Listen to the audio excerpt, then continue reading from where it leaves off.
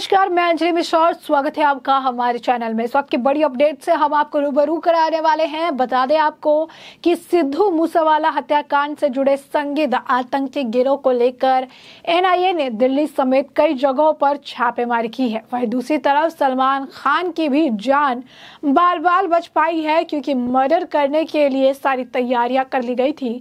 लेकिन तभी पुलिस ने सलमान खान को बचा लिया। क्या है पूरा मामला? इसके बारे में हम विस्तार से जान लेते हैं। सबसे पहले बात करेंगे सिद्धू मूसेवाला को लेकर। बता दें आपको, पंजाबी गायक सिद्धू मूसेवाला की हत्या मामले में राष्ट्रीय जाँच एजेंसी, यानी एनआईए ने देश के कई हिस्सों में आज छापेमारी की।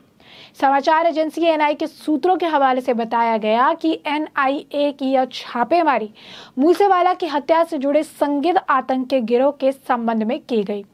एनआईए ने दिल्ली एनसीआर हरियाणा और पंजाब के विभिन्न स्थानों पर तलाशी की। मूसेवाला की हत्या के मामले में चंडीगढ़ पुलिस ने रविवार को अंतिम आरोपी शूटर दीपक मुंडी को उनके दो सहयोगियों के साथ पश्चिम बंगाल के भारत, नेपाल सीमा से गिरफ़्तार किया था। मूसेवाला की नरसंग हत्या के मामले में अब तक पंजाब पुलिस ने 23 आरोपियों को गिरफ़्तार कर चुकी है। चंडीगढ़ पुलिस ने कहा कि आरोपियों को उस समय गिरफ़्तार किया गया जब वो नेपाल भागने की कोशिश कर रहे थे। गिरफ़्तार किए गए अन्य दो लोगों की पहचान कपिल पंडित और राजिंदर उर्फ़ जोकर के रूप में की गई है। इस ऑपरेशन को पंजाब पुलिस की एंटी गैंगस्टर टास्क फोर्स यानी एजीटीएफ ने दिल्ली पुलिस और केंद्रीय एजेंसियों के साथ संयुक्त रूप से अंजाम दिया।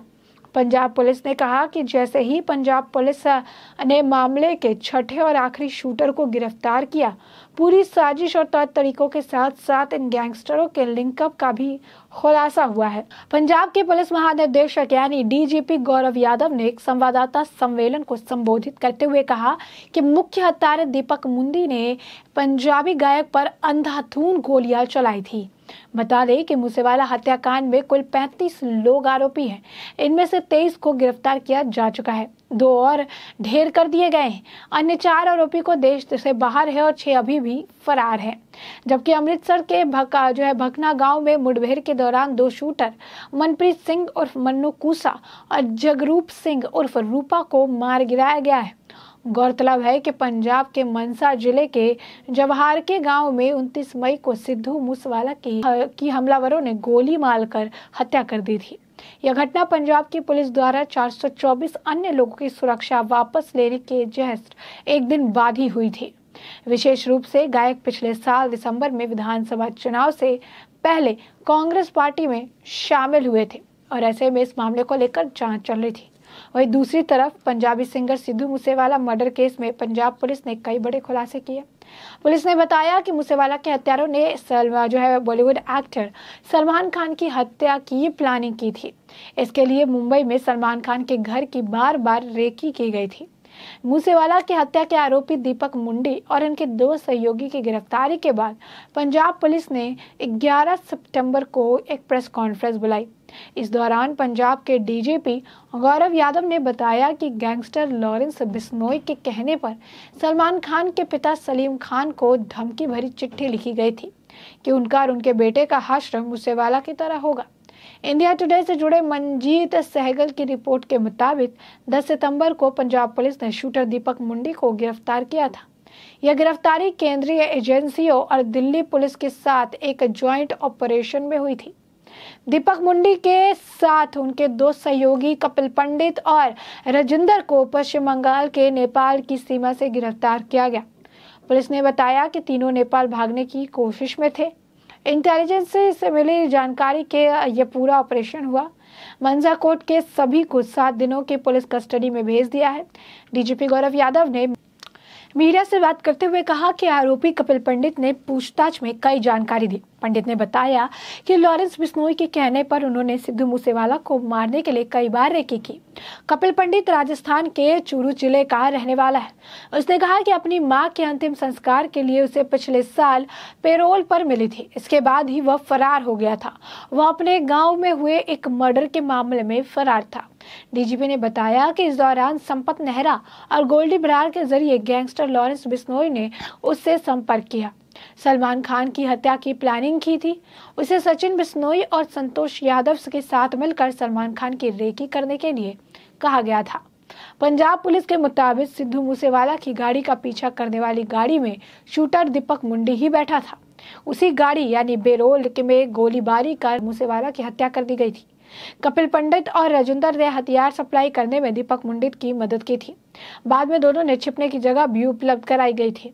मूसेवाला की हत्या के बाद जो है, मुंडी और कपिल हरियाणा, राजस्थान, गुजरात, यूपी और पश्चिम बंगाल में रहे।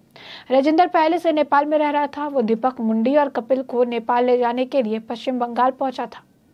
डीजीपी ने ये सारी जानकारियाँ सामने रखी। बता दें। डीजीपी ने बताया कि गैंगस्टर गोल्डी बरार ने मुंडी और कपिल से वादा किया था कि वो फर्जी पासपोर्ट पर उन्हें दुबई भेज देगा। दोनों को नेपाल या थाईलैंड में फर्जी पासपोर्ट मिलना था, जिसके बाद वे दुबई जाने वाले थे। पंजाब के मनसा ज़िले में 29 मई को सिद्धू मूसेवाला की गोली मारकर हत्या कर दी गई थी। गैंगस्टर लॉरेंस बिश्नोई ने स्वीकार किया था कि मूसेवाला की हत्या की साजिश का मास्टरमाइंड वही था। मर्डर केस में पंजाब पुलिस ने अब तक कुल 35 लोगों को आरोपी बनाया है, जिनमें से 23 लोगों को गिरफ़्तार भी कर लिया गया है। 20 जुलाई को पंजाब पुलिस ने दो कथित आरोपियों को एनकाउंटर में मार गिराने का दावा किया। चार आरोपी देश से फरार है। साथ ही छह लोगों की गिरफ्तारी अब भी होनी है, जो फरार चल रहे हैं। तो इस समय अपने आप पे आप जो है बड़ी अपडेट है। आप देख सकते हैं, सिद्धू मूसेवाला के बाद जो उनके पेरेंट्स है, वो जो उनके माता पिता है, उन्होंने गृह मंत्री अमित शाह से भी मुलाकात की थी। इस मामले की गंभीरता को देखा गया था और उस वक्त उन्होंने जो है पंजाब की आम आदमी पार्टी की सरकार भगवत मान पर भी काफ़ी आरोप लगाए थे। और इसीलिए आरोप लगाए थे क्योंकि भगवत मान ने जिन वीआईपी और वीवीआईपी के से जो सुरक्षा वापस ली अपनी वाहवाही कराने के लिए, उनके लिस्ट को उन्होंने सार्वजनिक कर दिया था। और कहीं ना कहीं उनके मतलब मूसेवाला के माता पिता का यही मानना था कि अगर ये रिपोर्ट जो है, वो जानकारी सार्वजनिक नहीं की गई होती कि कौन से वीआईपी और कौन से वीवीआईपी की जो सिक्योरिटी है, वो ले ली गई है तो इससे उनके बेटे को नुकसान नहीं होता और उनके बेटे की मौत भी नहीं होती।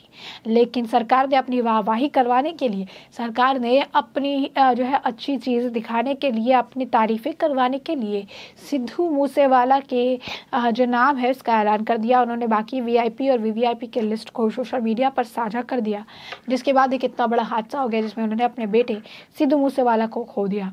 अमित शाह ने उस वक्त भी उन्हें जो है, सांत्वना दिया था और उन्होंने ये कहा था कि इस मामले में जल्द कार्रवाई देखने के लिए मिलेगी और मूसेवाला के हत्यारों को जल्द पकड़ लिया जाएगा। जिसके बाद से लगातार छापेमारी देखने के लिए मिली, लगातार कार्रवाई हो रही थी और अब एनआईए ने इसी मामले पर कई जगहों पर छापेमारी डाली है। दिल्ली, हरियाणा समेत कई अलग जगहों पर छापेमारी के दौरान जो है अब दो तीन लोगों को जो है गिरफ़्तार करने की बात भी सामने आ रही है और ऐसे में सलमान खान को लेकर भी बड़ी अपडेट ये है। सलमान खान के घर भी मुंबई पुलिस आज पहुँची और उन्होंने बताया किस तरीके से उनके घर की जो रेकी की जा रही थी। ऐसे व्यक्ति में से एक को गिरफ़्तार भी कर लिया गया है।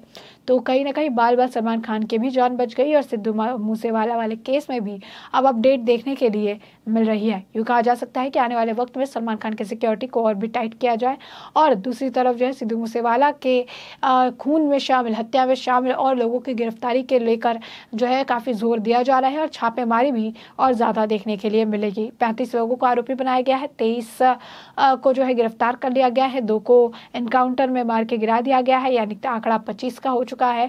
पैंतीस में से अभी भी दस जो है, जिसमें से छः फरार चल रहे हैं और चार जो है विदेश में है, जिनको लेकर आगे की कार्रवाई जल्द देखने के लिए मिल सकती है। तो ऐसे में हमने आपको ये पूरा मामला जो है विस्तार से बताया है और अब इस मामले पर आपकी जो राय हो, कमेंट सेक्शन में कमेंट करके ज़रूर साझा करें।